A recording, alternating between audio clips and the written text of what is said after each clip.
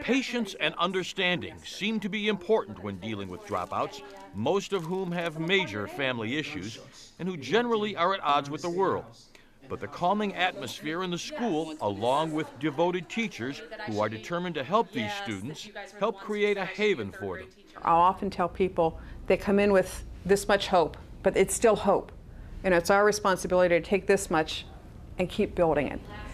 Because they can learn, and they do, and that's what our students learn here. And in learning here, it's not just about getting a high school diploma because in today's society, that's not enough. You need more.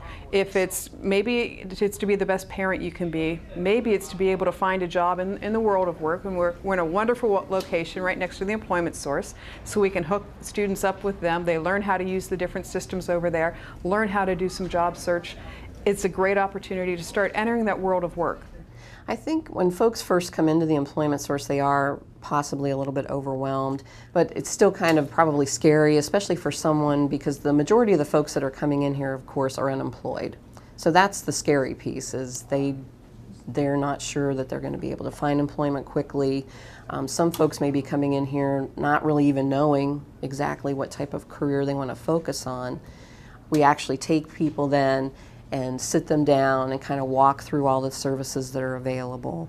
Um, we answer any questions that they may have about how to utilize the equipment, um, where the job orders are. We have job order books for folks who want to maybe just leaf through the books and see a paper uh, copy of a job order.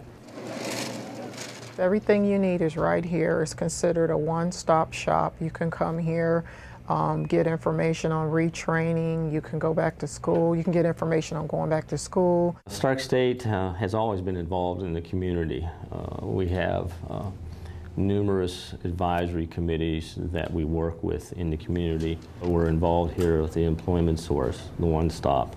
And we try to maintain, we have office hours over here so that we can work with the employees as well as any of the employers when they come in if there's anything going on.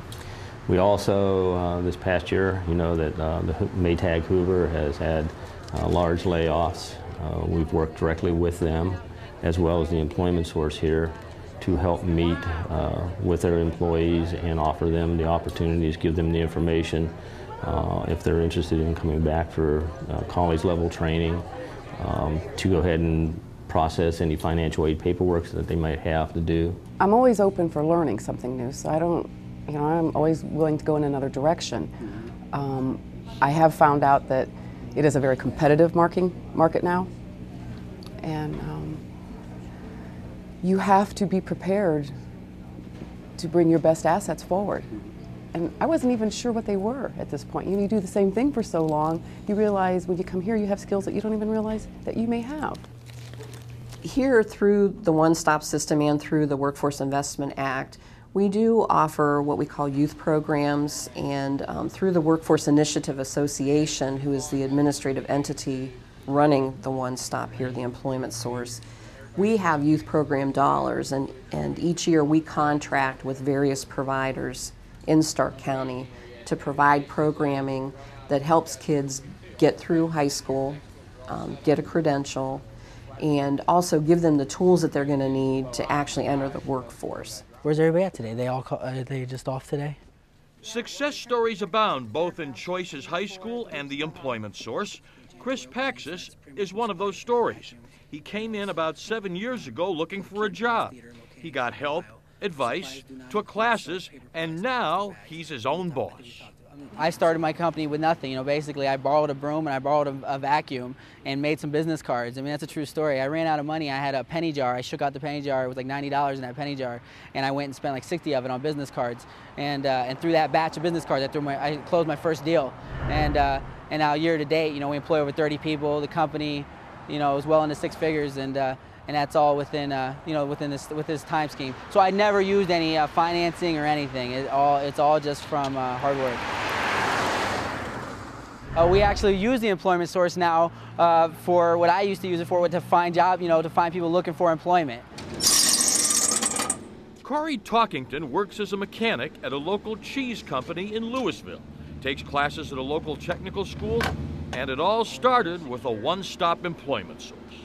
I just thought it was great to see how much help out there is with financial aid and all that for school. I mean, in my situation, uh, it was the way it worked out. I got I went over to Employment Source and uh, got the WIA scholarship. Well, it's just me, my brother, my younger brother and sister, and my mom in one house, but I'm working for all four of us. So what that helps is is with the insurance, with mom's insurance, that my income is not considered enough, and that's how I get the employment source application. Not everybody's set up for a four-year college, and, and I think our current education system really, for lack of a better term, pushes people towards that four-year degree, um, understanding that probably, you know, statistically, I think uh, dropout rates for college freshmen is probably at like 50 percent. Um, our program dropout rate is nowhere near that because again, our course is about 70% hands-on. I hope to have well have a nice a nice house out out in the middle of nowhere. Just I just love the country. I've always grown up in the country, but I like to have my own my own trucking company. Maybe have a couple trucks, and then my fiance now, she she said she'd be willing to help and everything with it. Corey is a super individual um, with a, uh, a, bright future. He's looking to uh, enhance his uh, opportunities as he grows uh, with Beery Cheese. But looking forward, we're looking out over the next five to 10 years of how can we bring in technical people. And that's full. That can continue to help us manage, maintain uh, our new uh, equipment, new technology. The Northeast Ohio region has been hit hard by some large companies moving out of state, leaving huge voids.